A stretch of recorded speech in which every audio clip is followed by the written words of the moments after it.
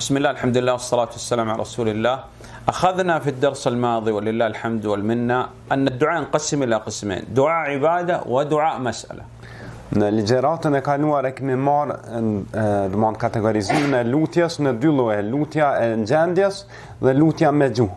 Naam, dua al-ibada هو دعاء بلسان الحال يعني حال هذا العابد انه كانه يدعو الله سبحانه وتعالى يدخل الجنه ويبعد عن النار لو اي بارت اش دعايا الجنديس او دعايا ادوريمت اش تصوحت دعاء ادوريمت sepse ai personi sikur me gjendjen e tij po e dëshmon se po i lutet Allahut me me fut në xhenet ose me mbrojt nga zjarri. Antel antu salli, tasum, tatasaddaq, tatlub alilm.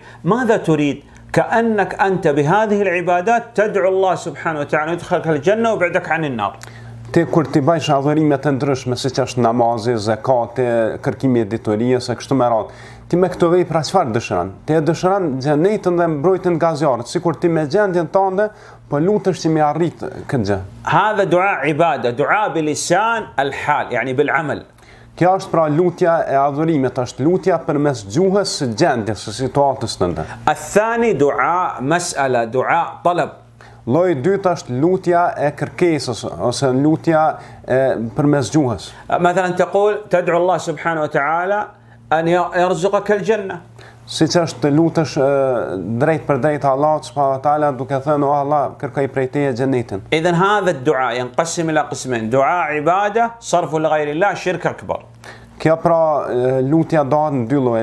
Lloji i parë siç e përmendëm lutja e adhurimit që mja dediku tjetër kujt për e Allahut është shirk i madh. الثاني دعاء مسألة دعاء طلب قلنا ينقسم إلى قسمين فيما لا يقدر عليه إلا الله صرفه لغير الله شرك أكبر مثل طلب إنزال الغيث إحياء الأموات هذا لا يقدر عليه إلا الله سبحانه وتعالى ndërsa lloji dyt lutja e kërkesës në pjesën e saj është shirk i madh, siç është për shembull kërkimi i shiut për dikujt tjetër përveç Allahut apo gjërat të tjera. Amma an atlub min al makhluq shay'an yaqdir alayhi qul ya sahib shurut arba'a an yakun hay wa hadir wa qadir wa ta'taqid annahu sabab. Në rast se saktuar nëse plotësohen disa kushte atyre me me lut tjetër kujt përveç Allahut me kërkesë, nuk është shirk.